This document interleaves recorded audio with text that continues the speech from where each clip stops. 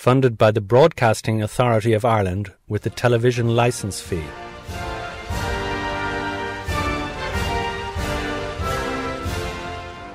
It's a well known fact that people from the island of Ireland get around. For generations, people have been leaving Ireland for opportunities and experiences in new cities, countries, or even continents. Some return after a few years of adventure, while others settle down abroad, with some of their descendants even becoming presidents of the United States. For believe it or not, a whopping 22 of the 45 US presidents to date claim some degree of Island of Ireland heritage. From Andrew Jackson and Ulysses S. Grant in the 19th century to JFK and Barack Obama in more recent times. I am deeply honored to be your guest in the free parliament of a free island. Hello, Ireland! My name is Barack Obama of the Moneygall Obamas. And I've come home to find the apostrophe that we lost somewhere along the way.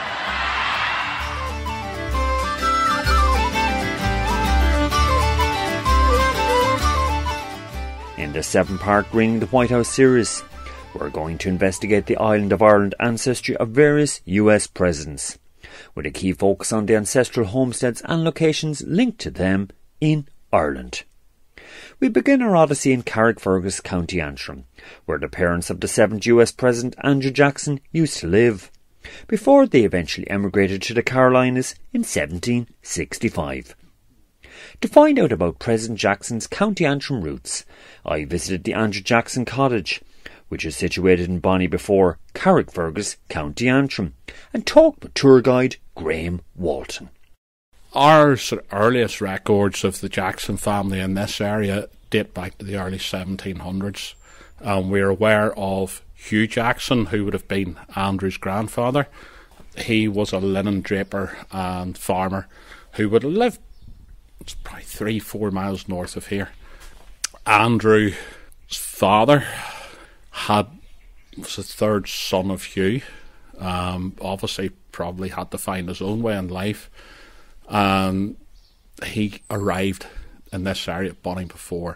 We think as a farm labourer, um, possibly to become a farmer himself at some stage. We're not entirely sure just exactly the year he would have arrived in Bonnybefore. Right, which is just a stone's throw from Carrickfergus, which is just down the way. And okay, uh, Hugh Jackson, Andrew Jackson, the president's grandfather, he has three sons. One of them is Andrew Jackson, Yes, senior, senior. obviously. And now he's born in the 1730s, am I correct? Yeah, he's born in the 1730s, yes. So, um, Andrew Jackson Sr. Uh, grows up in this area, son of Hugh Jackson. Uh, what happens? Who does he marry? How do things go for him? He marries Elizabeth Hutchinson. Um, they set up home in this in Bonnybefore and take the decision eventually to emigrate to America.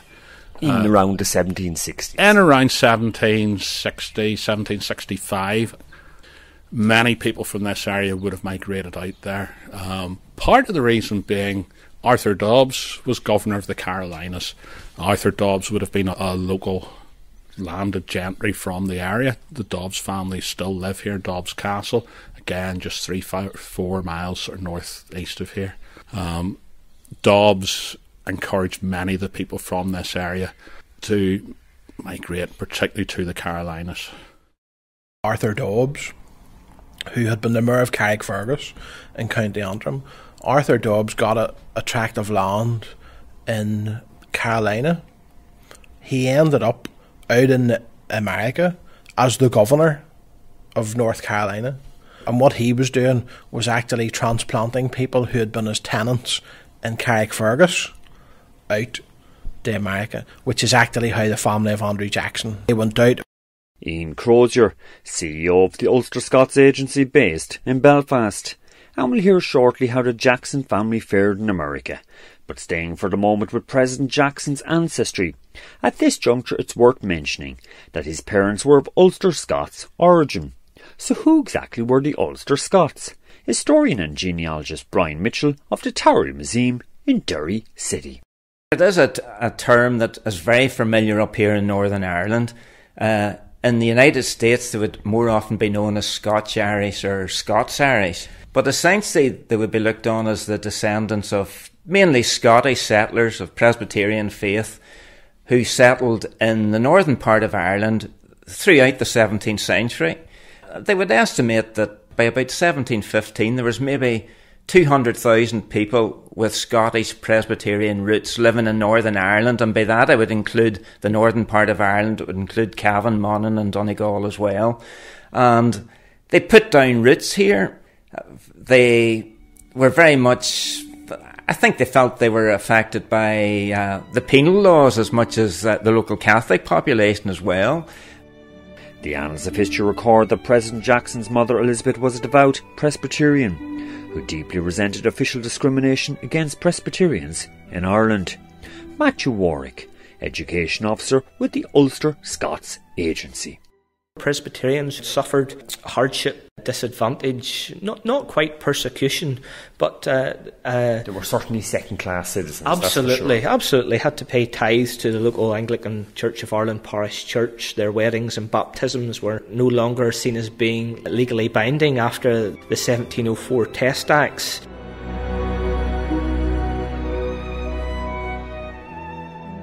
But it wasn't just official religious discrimination which motivated the Jacksons to eventually emigrate to America. There was also the New World opportunity of owning their own land. Dr. Patrick Fitzgerald, Head of Research and Development at the Mellon Centre for Migration Studies, based in the Ulster American Folk Park, situated near Omagh in County Tyrone.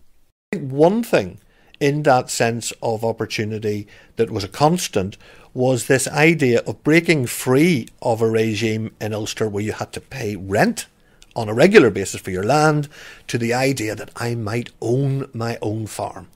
And farms that could be five, six, seven times the size of the small farms that they carved out here. So land was a constant fuel to this desire to seek a new life and new opportunities, not just new opportunities for yourself, and most of the emigrants were relatively young, but thinking about their children and the next generation having better opportunities for material improvement in the new world. It was that economic opportunity, uh, that civil liberty, uh, freedom of conscience. Matthew Warwick. That drove the Ulster Scots, Scots Irish across the sea in the early 18th century. And so, seeking better opportunities in America, in the year 1765, the future president's family left their home in Carrickfergus and took a ship from the port of Larne in County Antrim to the New World. Here's Alistair Moore, a tour guide on board the Union Brig replica ship in the Ulster American Folk Park in County Tyrone, to give a taste of what the typical 17th century emigrant's sea voyage to America was like you were considered lucky if a ship like the Union made it to America within eight weeks of leaving Ireland. And that was with good sailing conditions. If the weather was bad, if the wind was against you, this journey could take anything up to 16 weeks. And however long it took, you're spending that time down here. These passengers do not have the luxury of being able to head up the steps to the top deck whenever they want some fresh air or some exercise. Depending on the weather conditions and the temperament of your captain, you might only get 10 minutes a day up on the top deck. It's impossible for us to really imagine what life was like for these passengers down here, contending with constant noise, boredom, frustration, fear, discomfort, and of course, smell. Because underneath every set of bunk beds, there was a bucket and that was your toilet. It's a disgusting prospect. 200 human beings in a confined space like this, filling those buckets. No privacy, no dignity, but you were delighted to have that bucket nearby because one of the worst aspects of this voyage is how even on the calmest of days, a ship like the Union was constantly rolling backwards, forwards, bobbing up and down. Seasickness affected virtually every single passenger. This was an appalling experience. And that's without mentioning just how unpleasant the food was, or how many rats were down here, or indeed how terrifying it was to be down here during a storm.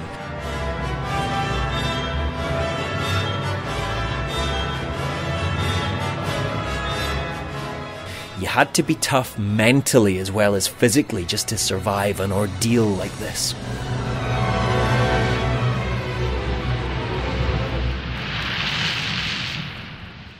But the Jacksons were lucky in one sense, in that they didn't travel alone. Ian Crozier of the Ulster Scots Agency. It wasn't just, you know, mum, dad, and kids. It was mum, dad, and kids, dad's brothers, mum's sisters. You know, it was the whole extended community. family that was going out, which meant actually that then, whenever they were over there, there was this kind of almost inbuilt support mechanism. So you ended up in a position where when Andrew Jackson's father died, now Jackson wasn't born here; he was born in America.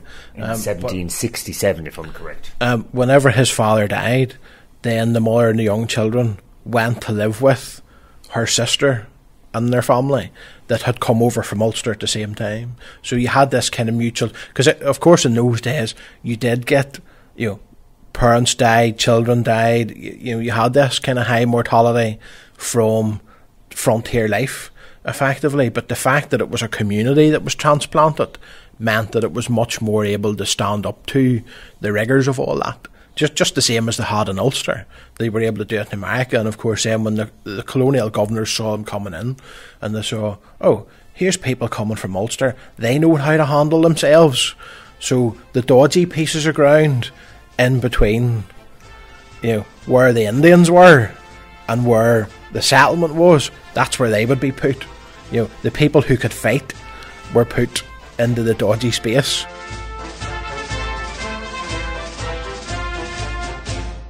And as was just touched on, Andrew Jackson's father died before he was born in 1767. As a result, his widowed mother took him and his two brothers to live with nearby relatives. So, what kind of an upbringing did the young Andrew have? Graham Walton of the Andrew Jackson Cottage in Carrickfergus. He would have had a fairly hard upbringing. Um, his father's passed away before he's born. He's raised by his mother along with his two brothers. I suppose what would have been a particularly tough time in the Americas with the Revolutionary War, or so the French Indian War, and later on the Revolutionary Wars. Both his brothers and his mother would eventually pass away from diseases caught. His two brothers would have fought in that war and caught diseases after being injured. His mother would eventually pass away through disease caught whilst treating soldiers. And Andrew himself would then have been raised by sort of further out family members. He himself had been like a runner or courier for the continental side in the in the wars. George, Washington's side against Yeah. the, the the Empire against the- forces. yeah, against the the Crown forces. Um, he was treated very, very badly at one stage. Had been taken prisoner. Some English officer tried to get him to clean his boots. Um, he obviously acquired a hatred of the the Crown forces at this stage, and this officer actually basically slashed him across the face with a sword. And these scars Jackson would carry until his death. Um, Not only the physical scars, but the trauma The and tra- uh, all the issues that go with it, yeah, yeah. and the attitude. and the attitude, um, which he seemed to have plenty of in his later life. Because he was a real rebel, wasn't he? He goes on to have a very distinguished military career. Am I correct, Graham? He does indeed. He becomes quite a you know a very well known, very distinguished military leader. I think most famous for beating the English at the Battle of New Orleans in 1815. And that was sort of been the highlight of his military career.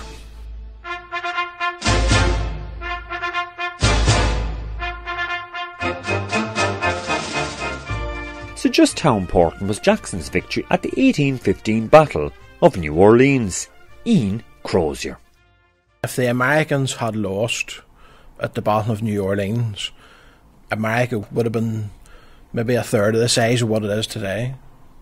Um, because you had a position where the British would have blocked the expansion of the country. You'd have ended up in a, a position where you know, most of the West would have been still held by the Mexicans. So, you know, basically winning at New Orleans cleared the way to the idea of a continental United States. Right, You know, if the so, Americans hadn't won at New Orleans, there wouldn't have been a continental United States. It would have been just consolidated the east of position. it would have been the east of the continent. Would have been what they would have been stuck with. That's what the British were trying to do. Um, so it's, it's interesting as well that at New Orleans you actually had a commander of the Americans whose roots were in Ulster, Andrew Jackson. and the British commander who was General Pakenham, and his roots were in Crumlin, which was only a few miles away from Carrickfergus. Wow, Hard to believe, isn't it? You know, and you had the same thing. Um, you know, when Jackson's the, the hero of the of the, the War of eighteen twelve, um, the White House was burned to the ground by Robert Ross, who was from Rostrevor. You know, so it was people transplanted from here, fighting each other on a different continent. And so, how exactly did Andrew Jackson end up becoming President of the United States in 1828? Graham Walton. He had been elected to Senate for a period. He did contest the 1828 presidential election, and it was a huge landslide for him. Um, leave the at his inauguration, he actually had to climb out of a window at the back of the White House and go and stay in a hotel um, because there's something like twenty thousand people trying to get into the White House to you know to see this great man. And he became known, if I'm correct, as King Mob because of that incident. But this was a man who was very, very popular, loved by the masses, and he kind of introduced a concept, from I'm right, Graham, called Jacksonian democracy, democracy for the common person. Yeah, he was very much the people's president. He's actually the first president of the United States to have been born in a log cabin. So he very much came from the same background, I suppose, as the vast bulk of, of his supporters, followers, whatever you want to call them. Um, but yeah, very, very popular. Basically, the people's president he was seen as at that time. Andrew Jackson's presidency lasted from 1829 to 1837. So, just how does history judge it? Dr. Daniel Geary, the Mark Pigott Professor of US History at Trinity College, Dublin. Andrew Jackson was one of the most important presidents in American history.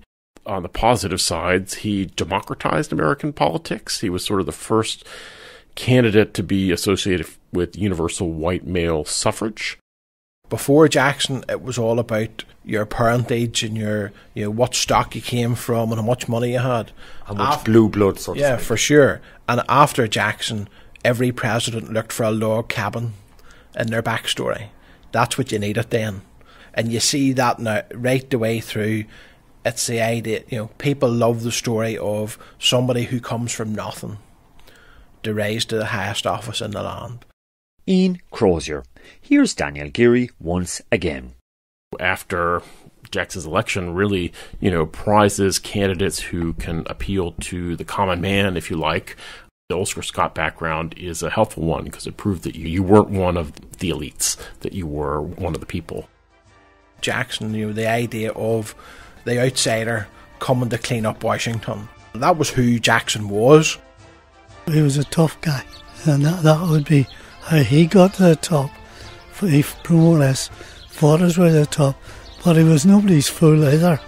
Carrickfergus based Jackson enthusiast Tom Bamber. He managed to get himself wangled into the office of president.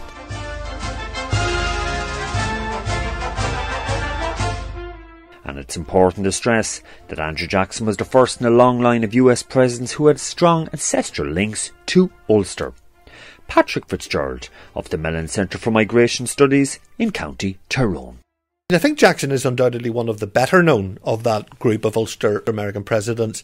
And I think one of the things that his career in the White House and his career in general uh, demonstrates is that actually the things that we remember about these men change with time. So I would argue, particularly in America, if you'd gone back to, say, uh, two generations ago in the 1950s and asked the average American, well, what about Andrew Jackson? The thing they probably remember about Jackson and was much celebrated was his career as a military man, a general.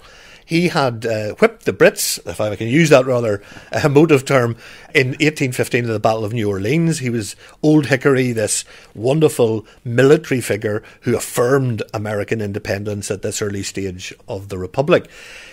If we look to today, in America, I would say that's changed. And what people remember most now, I would argue, about Jackson is his record in relation to what is known to us as the Trail of Tears. Um, the Indian Removal Act, which was introduced under Jackson in 1830, basically laid in place the mechanism for moving very large numbers of Native Americans, particularly the Cherokee, off their ancestral lands in the southeast of America, across the Mississippi into the American West, places like Oklahoma. And that, as the name Trail of Tears implies, was not a good story. And it really does shine a very bright light on how Indian land rights were basically just totally ignored, um, not just in Jackson's time, but really you could argue across much of 19th century America. So that shows us in a way how the reframing of the story of how the American West was not won but lost uh, has changed the way we think about this, and that Jackson's overall reputation has, I would argue, declined in America as a result of this rather sorry tale of how the American West was lost and how he had played an important role in one of the one of the less less salubrious aspects of, of that whole story. Right, and uh, he, but he was the guy who really introduced populist democracy. Am I right, yeah. uh, Paddy? Yeah, I mean that's one of the really, really populist president of of the American uh, politics. Absolutely.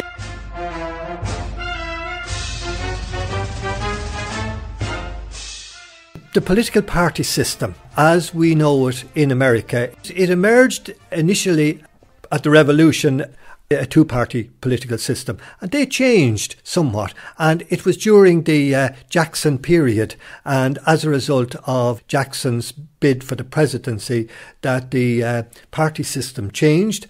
And of course, we had the emergence of what is the two party system that exists today in the United States. County Kildare historian Seamus Cullen. Here's Matthew Warwick. Andrew Jackson he was the seventh President of the United States, founder of what would become the Democratic Party. And perhaps the best place in Ireland to learn about the ancestry, life, and lore of President Andrew Jackson is the Andrew Jackson cottage situated in Bonnybefore, Carrickfergus, County Antrim. Graham Walton. The Andrew Jackson cottage, you're very, very close to the ancestral home of Andrew Jackson, the seventh President of the United States. Now, the original cottage, the original homestead, was knocked down in 1860 to make way for the railway line which travels just behind us here. This cottage, um, to all intents and purposes, would have been the next door neighbours and dates back to a very, very similar period normally when we're open for visitors, we will have a turf fire burning. A cottage isn't a cottage without a turf fire burning. Of course. Uh, so normally we would have a, a, the fire burning here. And we also have, I mean, it has two bedrooms.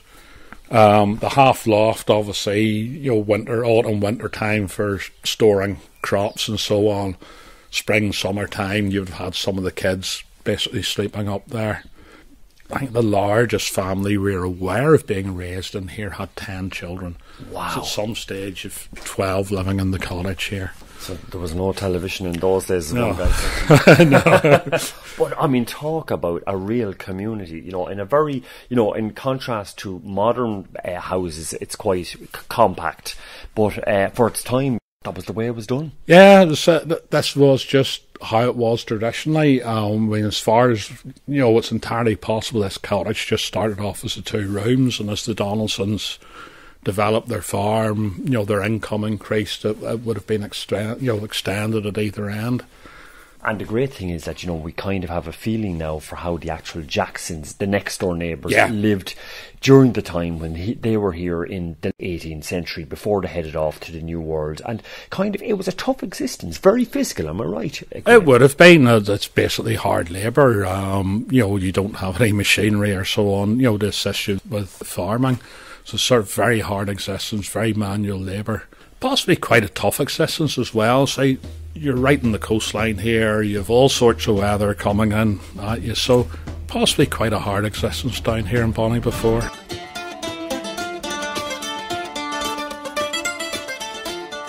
We've come out to the back garden here now of the uh, Andrew Jackson cottage, and I mean, wow! Not only have you a garden, but you have a sight to beat all because we're looking, just give our listeners a word picture of what we're looking at now, the panoramic vista that's opened up before us here. Yeah, when you step out the back of the cottage into the garden, you have amazing views right up as far as Belfast. Um, not that far away from us, or just less than a mile, you have the beautiful Carrickfergus Castle. Um, and it's a glorious day. It is a beautiful day today. Um, it's really nice to work out here in days like this. Um, across the far side of the Belfast Lough, you've views to Holywood, Bangor, and so on. It's just a beautiful place to work. I mean, it must have been something else for the families in times gone by that lived in the house here.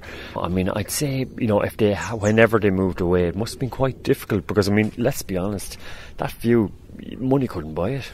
No, money couldn't buy that view at all. I'd say it is a beautiful spot here and you know moving away as the Jacksons did to go to the Carolinas, you know they'd have got themselves back into a very tough life where you know wherever whatever land they've been allocated needs to be cleared and and got ready basically to farm. Um, so it would have been the reason that Andrew Jackson Senior, uh, the president's father, died so early in the New World. Yeah, as far as we know, and say probably a heart attack he's died of, um, but it is said that it was the hard work of clearing his new land which led to his early death. But I mean, they really had drive, didn't they, these people like the Jacksons? I mean, within one generation, one of them is President of the United States. I mean, phenomenal. Yeah, I mean, I mean literally from whitewashed cottage here to the White House. Yeah, literally. Um, the people from this area, which is why I think Arthur Dobbs encouraged them to, to go over there, were known for their hard work and their skills and so on. So that was why they were quite keen to get these people to, to settle, say, particularly over in the Carolinas.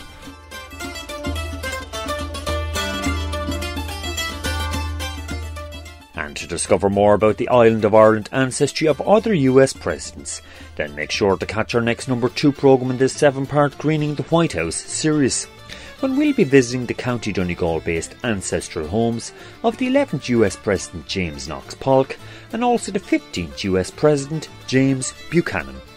Until then, I'm going to leave the last word on Andrew Jackson with various contributors. Andrew Jackson became President of the United States of America, and we actually have an Andrew Jackson Centre in Bonnybefore in Carrickfergus. The Andrew Jackson Cottage, which is in Carrickfergus, is just about a mile from Carrickfergus Castle. It's a beautiful little thatched cottage. Andrew Jackson Centre. A centre to interpret the Andrew Jackson story. Jackson, a political giant. So people want to learn more about him can come and find out a bit about him at the Andrew Jackson Cottage.